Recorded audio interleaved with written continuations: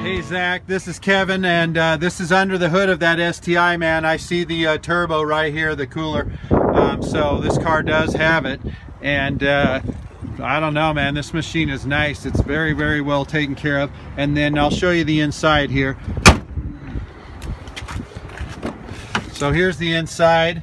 Um, so it's Recaro style seating with the uh, leather slash suede. Um, super nice, great condition, heated seats, differential control, short throw shifter, backup camera. I mean, uh, this is a nice one if you're going to do one. So I just wanted to show it off, my friend, uh, and um, I hope that we get a chance to work it out. I'm down here until 6 today. I'd love to have you come down by the car. 319-393-0640. Thank you.